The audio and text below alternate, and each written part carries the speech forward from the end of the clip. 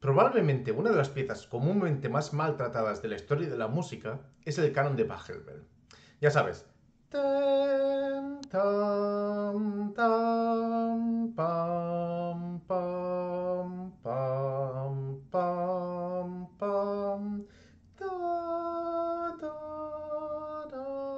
Si lo quieres escuchar, una grabación mejor que yo cantando. El canon más o menos se aguanta hasta un tercio de la obra.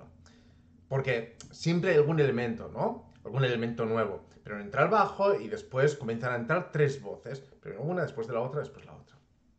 Y cada voz pues añade un- una melodía nueva, un elemento de interés nuevo, se añade más polifonía, con lo cual eso también añade tensión.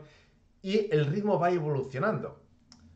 Hasta pam para pam para para para para para para para para para para pam para para para para para pam para pam para para para para para pam para y aquí comienza a decaer pam para pam pa- porque es el mismo ritmo y la polifonía que hay es una, una tercera paralela con lo cual en realidad perdemos un poco para pam para para no es siempre una tercera paralela pero bueno para para para para pam para para para para pam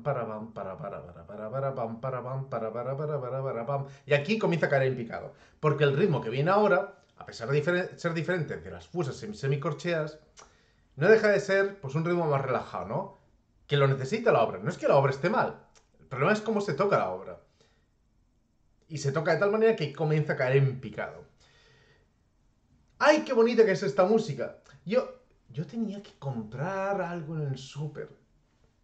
Desconexión total.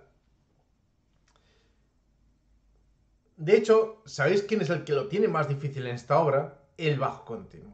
Porque el bajo continuo tiene que siempre encontrar un interés diferente, un interés nuevo, ver la música desde una perspectiva, desde una luz nueva, tocando siempre las mismas ocho notas. Y esto es un problema para todos los instrumentos que tienen un ostinato.